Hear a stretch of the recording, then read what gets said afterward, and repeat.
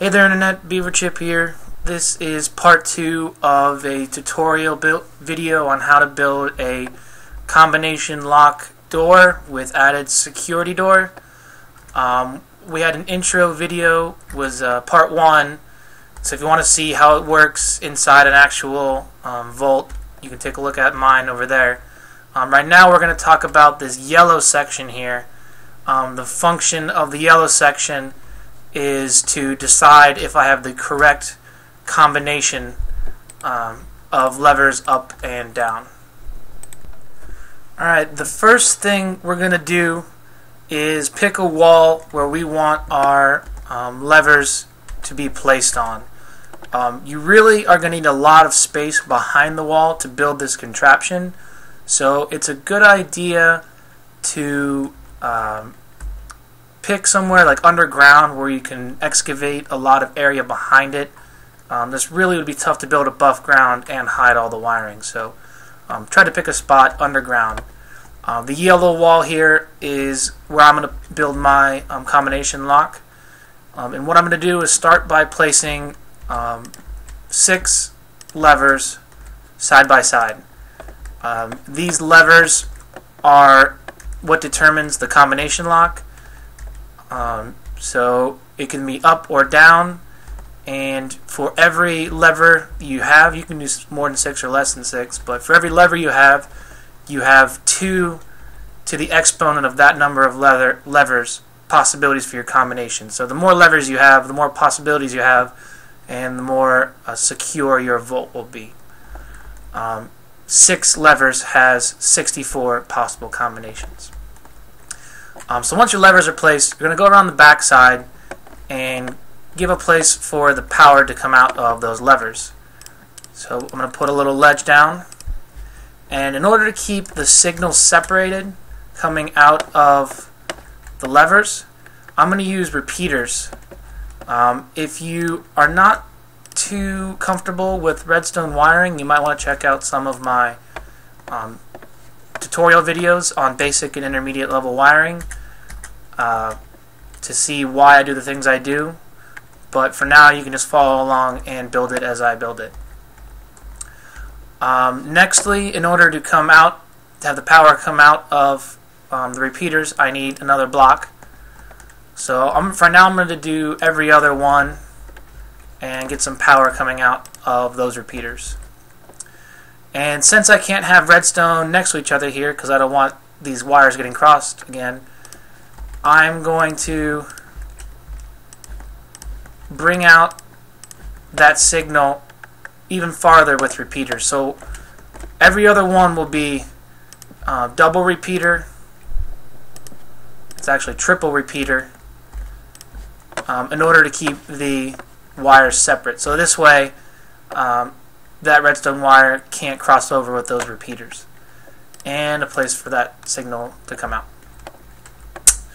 Uh, now I'm going to only um, work with the three that are sticking out farther here.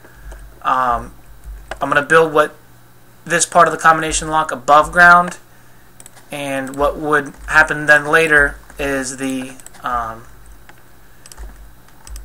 the three that are going down like this um, they would get the same exact build but below ground um, so those wires are going to travel underground, and they're going to get the same exact build, um, but again underground so they can stay separate.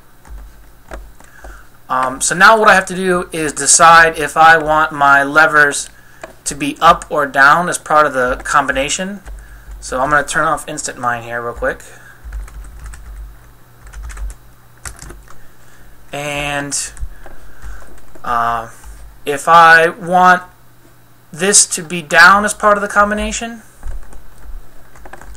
then power is sent through normally. But let's say I want this one to be up as part of the combination, then I have to invert that signal.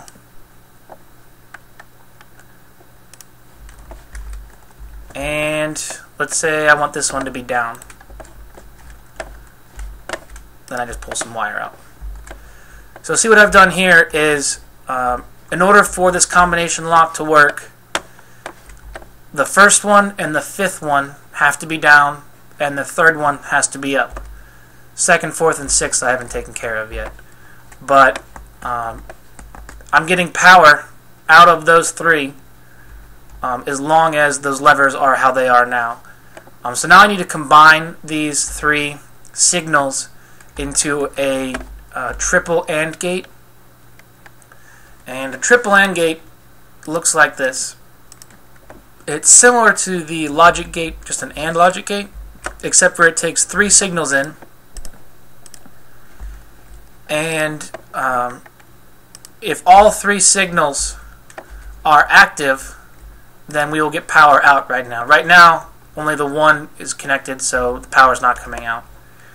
Um, I'm going to loop around my wire and run it directly into the block like this. If I were to run it like this, it, even though it looks like it's connected, it doesn't work.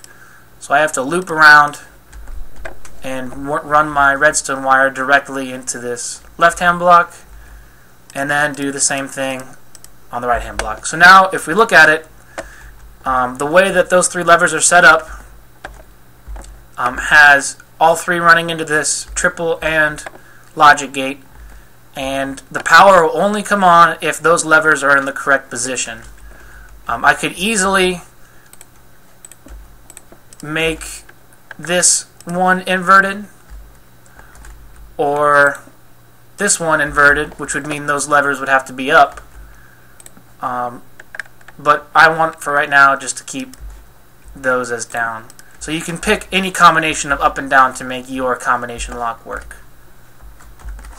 So now I've brought you back over to um, the fully built setup so I can show you um, that those yellow blocks over there are exactly what I've built here. And I want to show you that down below is the exact same build as up above. Um, they're just built, it's built down below so that they can be separated and done out of the way. So those three signals from above are coming down. And in this case, I had um, one lever down and two levers up.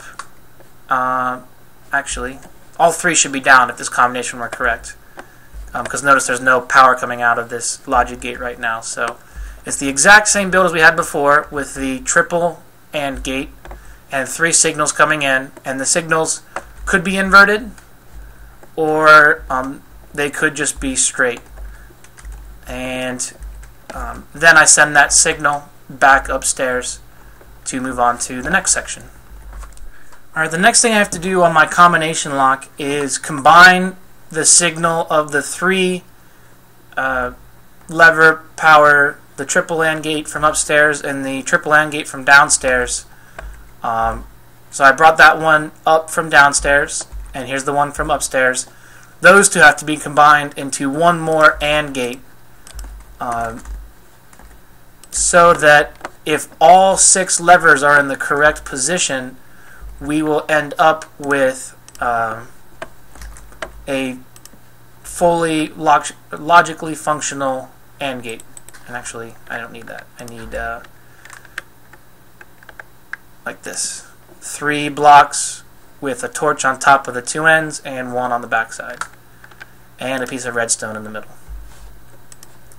So now, um, this signal right here coming out of the system will only be active if all six levers are in the correct up or down position, which again you get to choose um, whether they're supposed to be up or supposed to be down by is it inverted or not at this location.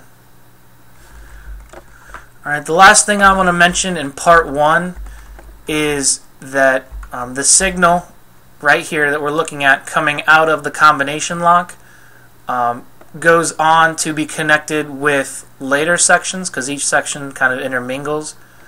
Um, just know that uh, right here, um, this is the signal saying yes, all the levers are in the right position, or no, one of them is in the wrong. At least one of them is in the wrong position. Um, so that'll get intertwined with later sections. Uh, that's it for part one. Part one or part two, we'll talk about the green section, which is a power pulse.